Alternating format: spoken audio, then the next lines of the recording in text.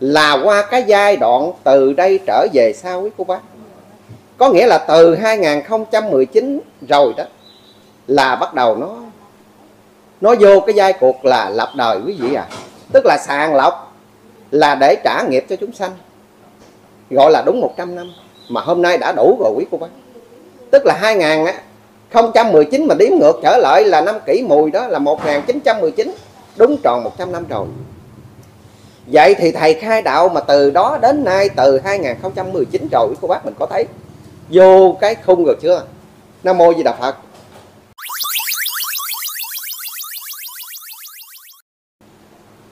Là muốn nhắc nhớ cho toàn thể của bác anh chị em mình, trên toàn thể quả địa cầu này, nếu quý vị nào có nhân duyên với đệ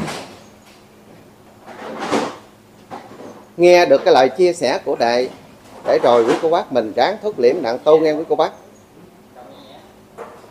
Hôm nay úc đàn muốn nói rõ hết về thế sự. Có nghĩa là hiện giờ nó đang diễn biến như thế nào đó quý cô bác à? Theo như cái cảm nhận của đệ trong giáo lý đức thầy, vì ngài thố lộ trong đó hết quý cô bác thầy nói là diệt thiên cơ cục tỏ hết trơn có nghĩa là đức thầy chỉ rõ toàn bộ trong sám thi, hoặc giả là máy thiên cơ mỗi phút mỗi thay nẻo thạnh suy như thể tên bay đường dinh nhục có rủi mai một lát có nghĩa là thầy thố lộ ở trong đó rất nhiều. Nhưng mà hôm nay cái nghĩ của úc đàn nó đã vào trong cái cái chu kỳ thời gian này, quý cô bác. Tại sao mà úc đàn nói vậy? Tức là hiện giờ nó nằm trong cái khung hết rồi, quý cô bác không thể bàn sai và không thể bàn mà coi như là thời gian bao lâu nữa. Nhưng mà hiện giờ là theo như cái cảm nhận của đàn là đang nằm trong khung đối của bác. Là tại sao một đàn dám nói vậy? Hôm nay bài tỏ lên đây để rồi cho quý cô bác, anh chị em nói hẹp là trong tín đồ hòa hảo.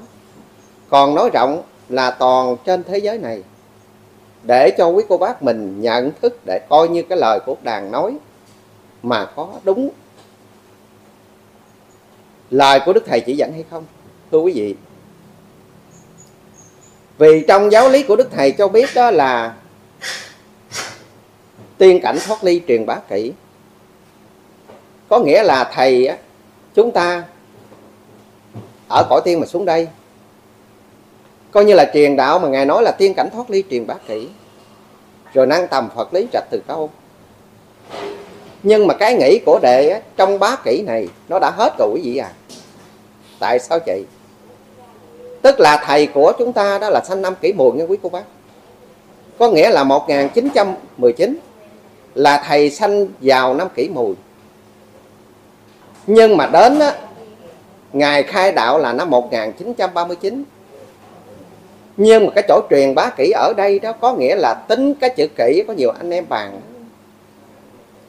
Chữ kỹ là cái năm, nhưng mà thật chắc nó đúng là cái năm chứ không phải là không đúng nghe quý cô bác. Nhưng mà cử kỹ ở đây theo cái cảm nghĩ của ốc đàn là chỉ coi như là kỹ là cái cái ngày sanh của đức thầy. Từ năm kỷ mùi và truyền đạo cho đến năm kỷ hợi quý cô bác tức là tính năm kỷ mùi 1919 đến năm kỷ hợi, tức là 2019 rồi. Là trong cái thời gian này đúng là 100 năm quý cô bác. Tức là từ chữ kỷ này mà cho đến chữ kỷ hợi đó, từ kỷ mùi cho đến kỷ hợi là đúng là 100 năm.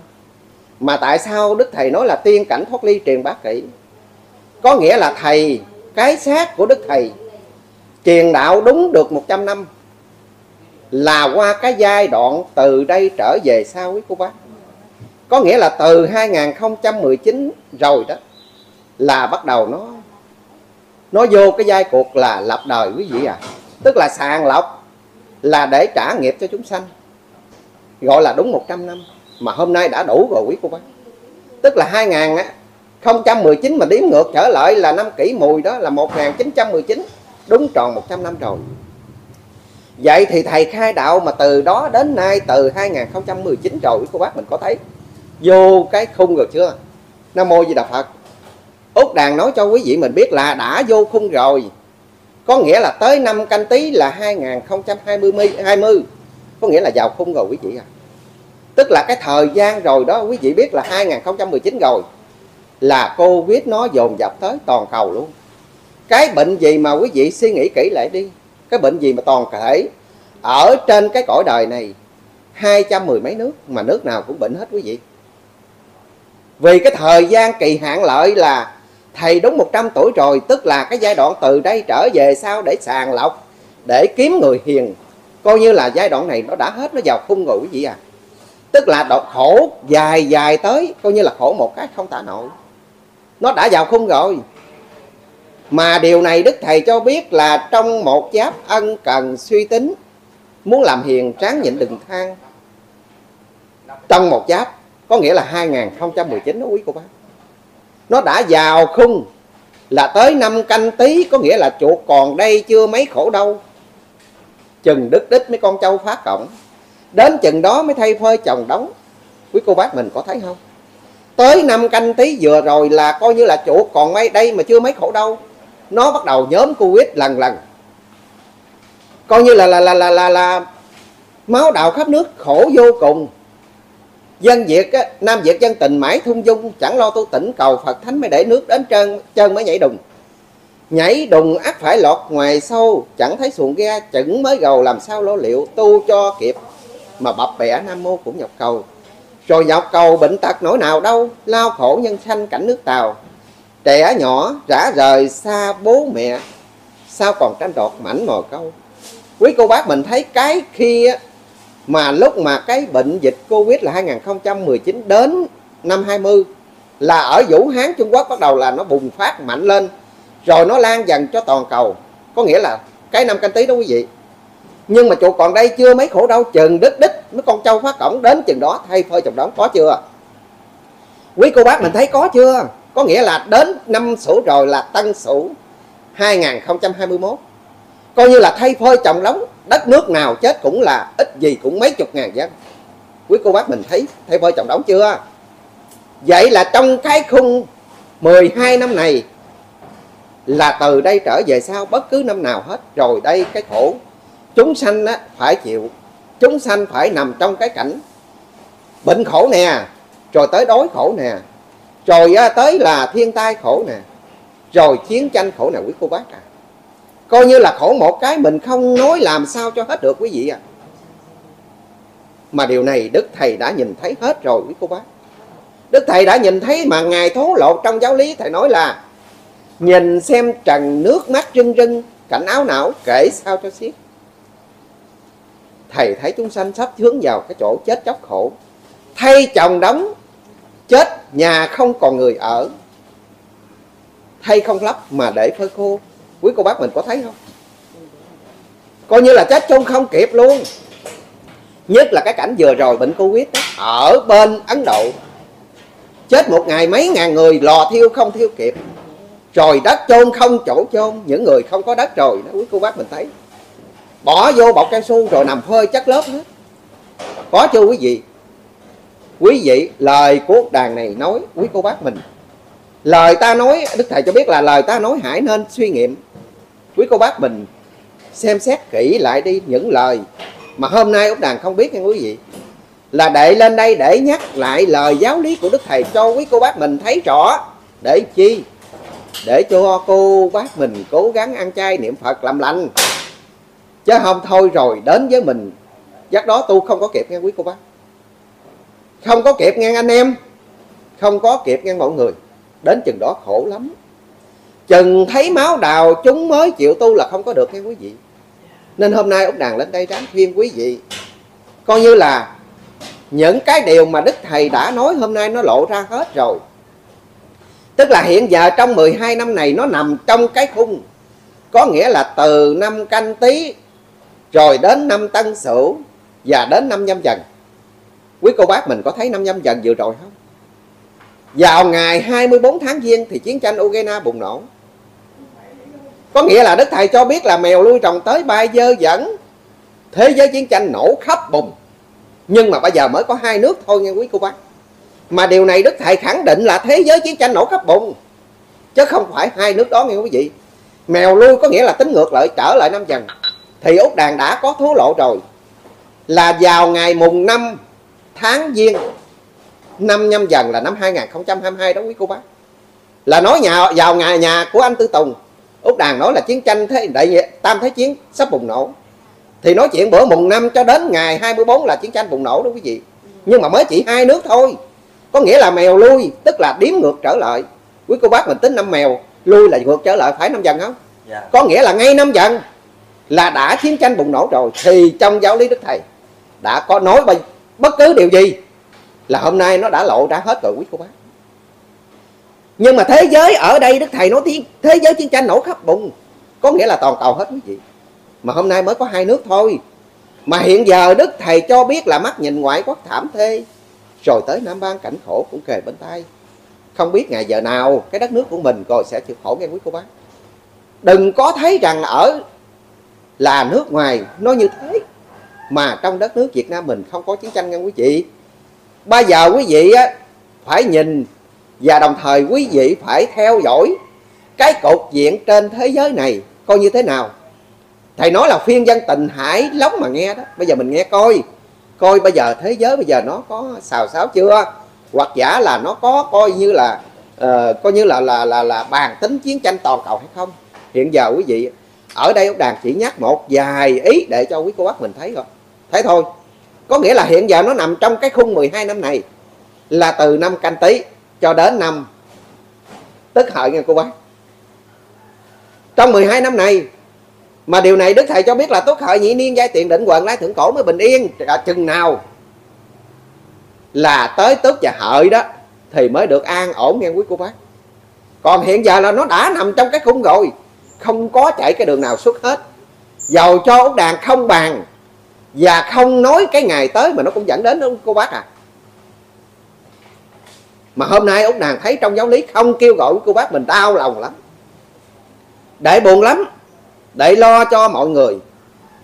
Vì điều này đức thầy cho biết là nếu không tu chừng khổ cũng ưng, đừng có trách. Sao không chỉ bảo? Không tu rồi đến chừng đó là tu không có kịp nha quý vị. Bởi vì nó nằm trong khung rồi đã tỷ dụ một, cái người thợ xây nhà người ta đã vẽ lập lăng đâu đó vào hết rồi. Có cái bản vẽ rồi là không thể thiếu được nha quý vị. Nhưng mà hôm nay đã cái bản vẽ nó nằm vào cái khung rồi. Tức là trong 12 năm này, ông ba đã cho biết luôn, ông ba thới.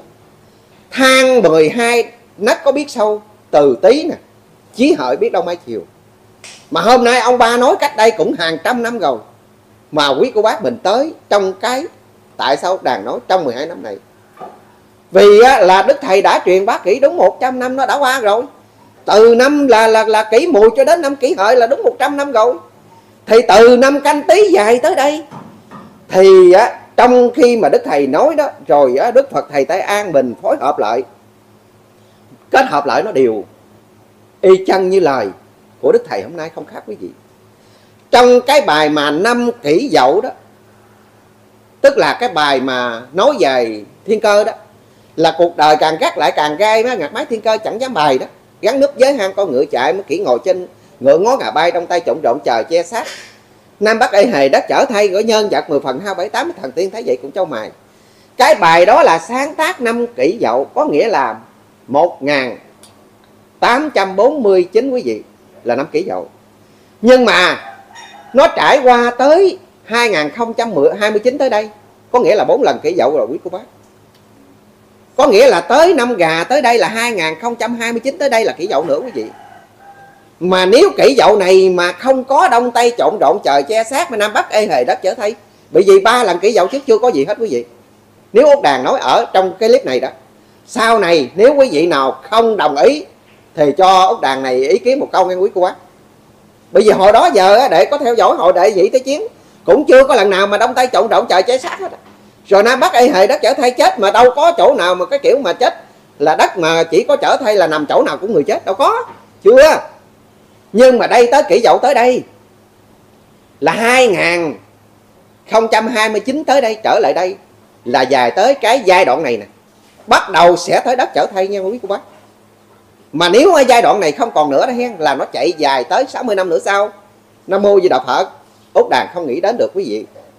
Trong thời gian này nó đã lộ ra hết những cái điều đức thầy nói nó lộ hết rồi. Út đàn không nghĩ xa nữa. Nên hôm nay có lời khuyên cùng toàn thể của bác anh chị em mình trên. Toàn cầu, những nước nước nào mà bây giờ còn yên bình đó, những nước nào mà chưa có chiến tranh giặc dạ những nước nào mà chưa có bị thiên tai nạn ách động đất, thiên tai là coi như là bão lụt này nọ, chết chóc đó. Quý cô bác mình nên tu đi. Nó nằm vào khung rồi. Cái khung này 12 năm này dài tới không có một năm nào mà không khổ hết, quý vị. Năm rồi nó ít, nhưng mà càng ngày tới đó hen. Đến giai đoạn giai đoạn mà khổ gỡ không được luôn. Vợ chồng chết nè, con chết nè, cháu chết nè, rồi sớm làng chết, hết cả, sớm cả làng chị quý cô bác mình có gỡ được không? Tới chừng đó tu không được đâu quý vị à tu không kịp nữa. Mà điều này đức thầy cho biết là bình thời phật thánh không ai nhớ mới hữu sự thỉnh mời tréo dữ a. Giác đó rồi quý cô bác có nằm là than à, kêu trời kêu phật đến cứu con giúp con cũng không bao giờ các ngài cứu được quý cô bác.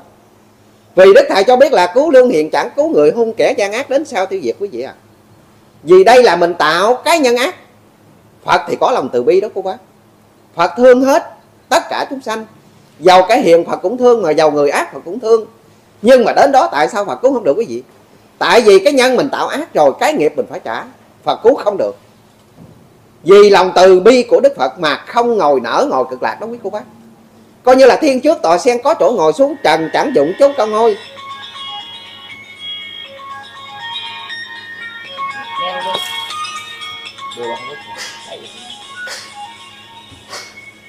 là tại vì chúng sanh đó mà đức phật thấy cái cảnh khổ sắp kề bên ngài đau lòng quý cô bác. Ngài phải xuống đây để rồi dạy mình. Biết con đường đạo đức đặng mình tu quý vị à. Có bao nhiêu thôi. Mà hôm nay đệ lên đây cũng vậy. Không phải đệ coi như lên đây biết thiên cơ mà đệ nói thiên cơ nghe cho quý cô bác mình biết. Nhưng mà hôm nay á, là đệ nói là rút trong giáo lý của đức thầy mà đệ bàn vì để cảm nhận được rằng bây giờ là hiện giờ mình đã thấy rõ hết rồi, mắt nhìn ngoại quốc tham thế rồi. Hoặc giả là khắp thế giới của nhà tan nát có lay rai hết rồi. Nhưng mà nó chưa có tan nát toàn cầu. Nhưng mà một ngày gần đây úc đàn này nói dám khẳng định một trăm phần trăm là sẽ tan nát toàn cầu. Mình ở đây chưa hẳn có nhà ở nghe quý cô bác bây giờ cái điển hình á, ở bên Ukraine đó, quý vị mình thấy không?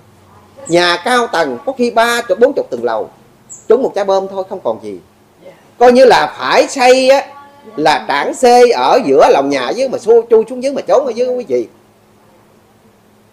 Nhưng mà đức thầy nói rồi, thầy nói rồi mà hiện giờ là ở thế giới là trong hai nước nó đã có rồi. Thì một ngày nào đó, quý vị mình cứ là cuộc thế giới chuyển lai như chống phiên nhân tình hại lắm mà nghe rồi nghe thử đi. Cái lời út đàn nhắc nhở trong giáo lý đó rồi quý vị nghe thử đi.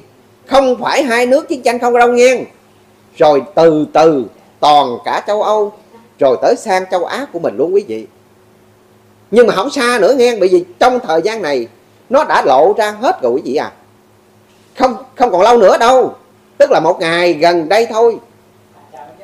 Trong cái bài mà nhẫn đợi thời cơ đó, mà đức thầy đã thố lộ đó quý vị.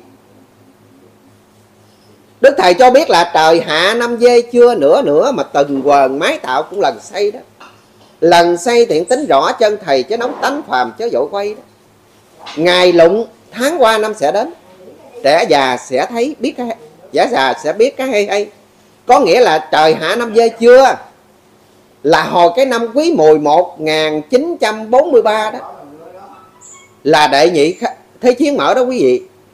Là năm đó ông chủ côn hỏi thầy năm nay là nếu mà không có gì con nghĩ tu rồi thầy?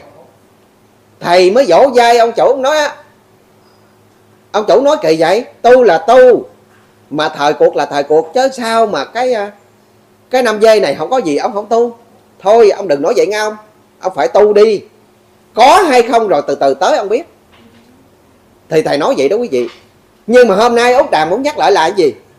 Trời hạ năm dây chưa? Có nghĩa là nay ngay chân cái năm quý mùi nó chưa hoàn toàn. Nó chưa là gì? Có nghĩa là chưa xảy ra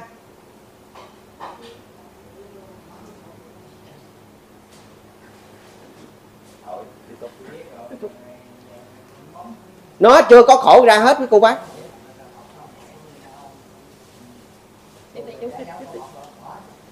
Thì chú chú chút nữa nói thổ nhĩ kỳ đặt xong. Mô di đà phật.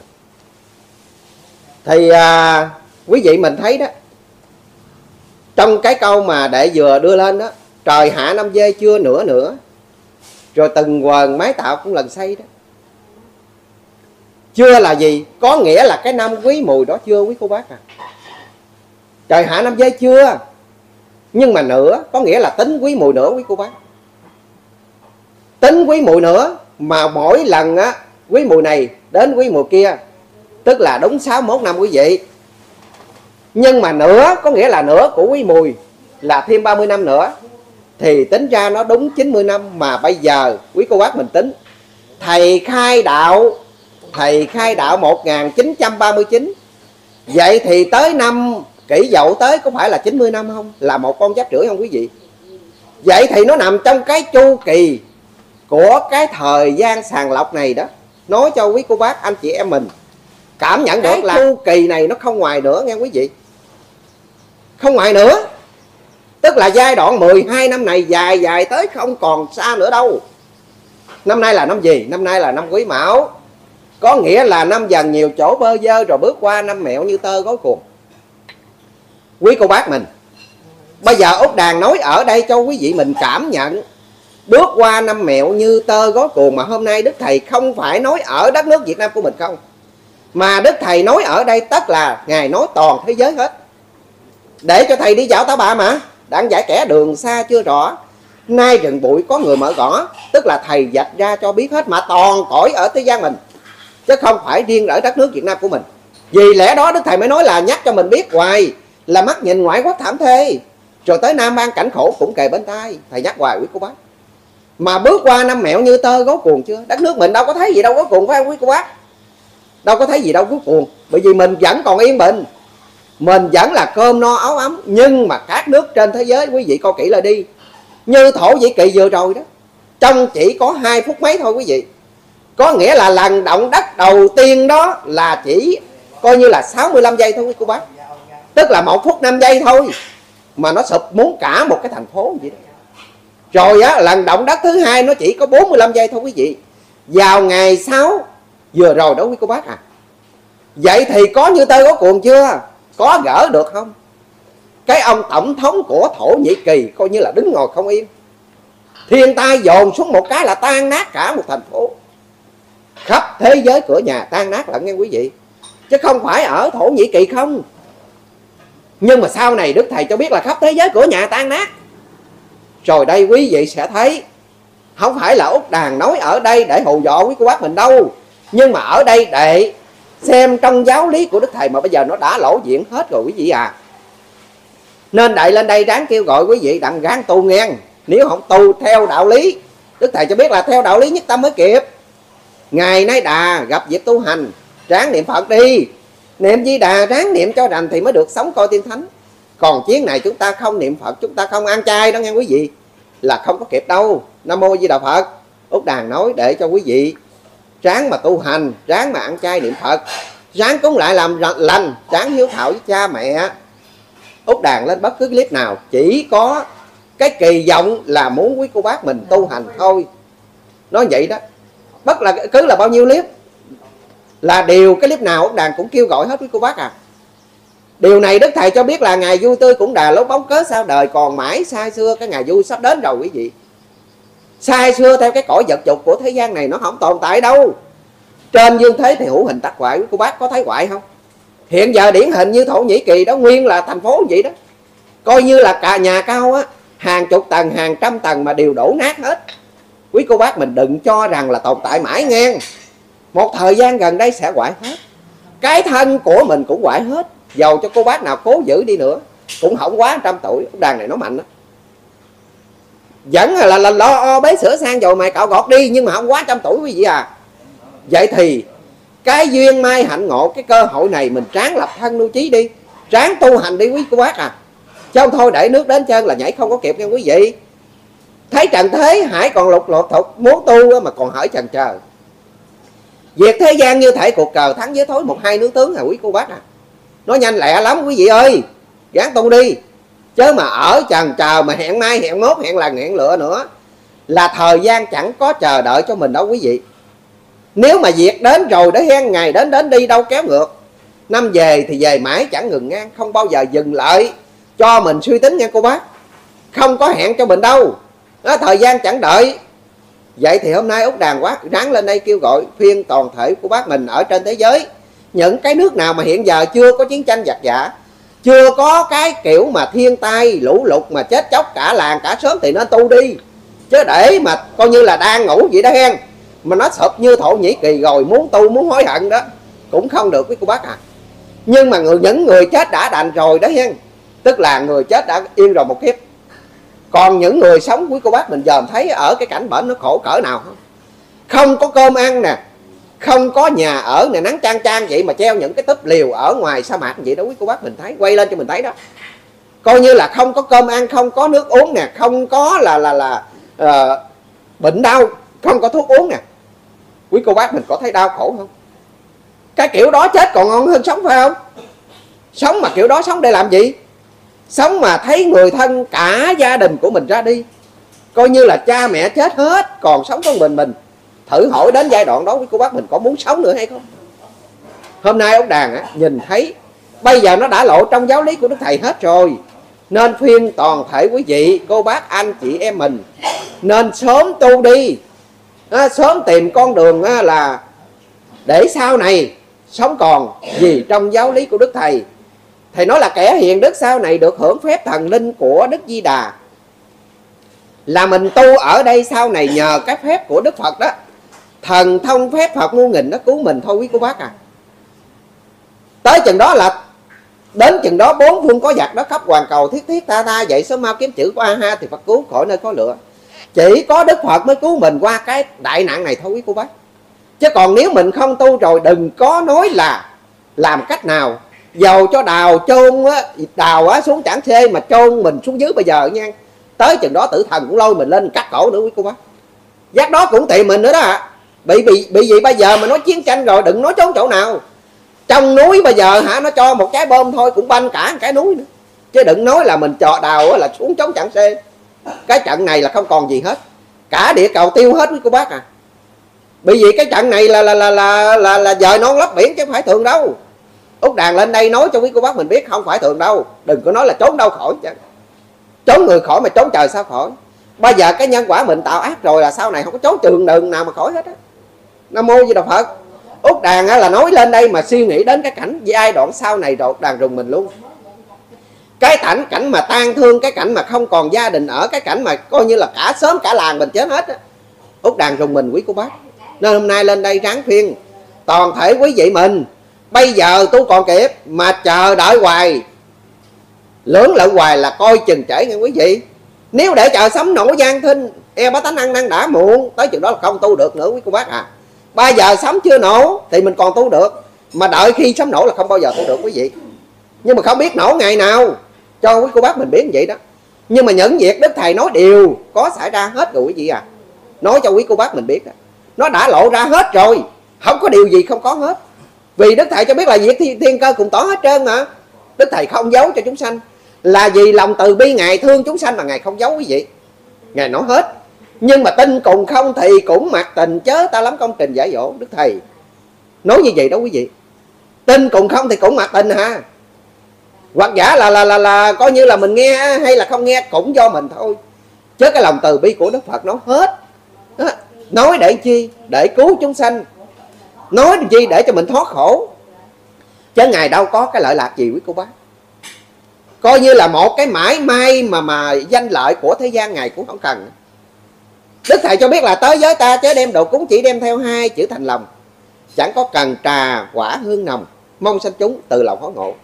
Thầy dạy mình không cần trà quả hương nồng, mà mong làm sao cho mình từ cái lòng thiện của mình. Mình hối cải, mình ăn năn, mình tu hành nè. Là đức phật vui đó quý cô bác à? Nên hôm nay để lên đây cái clip này cũng ngắn thôi. Lên đây để kêu gọi toàn thể của bác trên toàn cầu bây giờ chưa có gì mình còn tu được. Để đến việc rồi không bao giờ tu được nghe quý vị. Nên hôm nay út đàn ráng lên đây chỉ có bao nhiêu lời ngắn gọn để kêu gọi đùng cùng đồng hành với đệ cùng ăn chay niệm phật cùng làm lành. Để đặng sau này chúng ta sống còn à, trong thời gian ngắn thôi. Bởi vì hôm nay đệ cũng có chút việc à, đến đây cũng à, coi như là khép lại cái à, máy quay trên màn ảnh nhỏ này. Thì à, trước khi để à, ờ, rời khỏi cái diễn đàn nhỏ nhỏ ở đây, thì cũng không quên cầu chúc cho toàn thể cô bác mình trên thế giới là được mạnh lành được vui khỏe và được sớm biết được cái đạo, hiểu đạo rồi chúng ta sớm giác ngộ tu hành. Niệm phật để chúng ta sống còn. Đến đây để xin dứt lời. Nam mô bổn sư thích ca mâu ni phật. Nam mô a di đà phật.